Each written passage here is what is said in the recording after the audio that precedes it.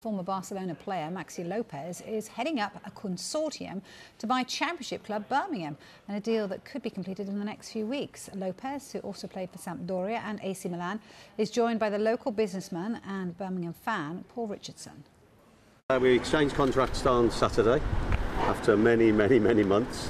Uh, we paid our deposit on Monday, and now we're in today to start our sort of uh, work to find out how the club works, DD Due diligence, yeah? Yeah, wait for uh, EFL approval, uh, which would take a couple of three weeks maybe, and then we go to completion. Where's the money coming from? That's the key question that the Birmingham fans want to know, Maxi. And what's your interest in the club?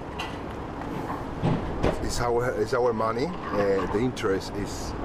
Um, I was working for this for almost one year. I think it's a huge project. There is too much potential in this in this team.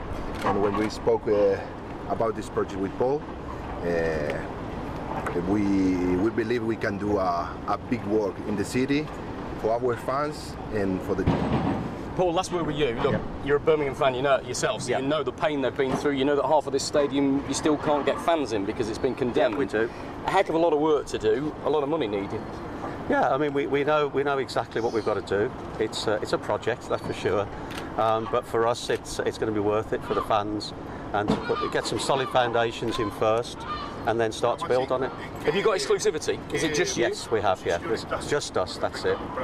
So, And in a few weeks, hopefully, you'll be the new Birmingham City owner? No, in a few weeks we will be.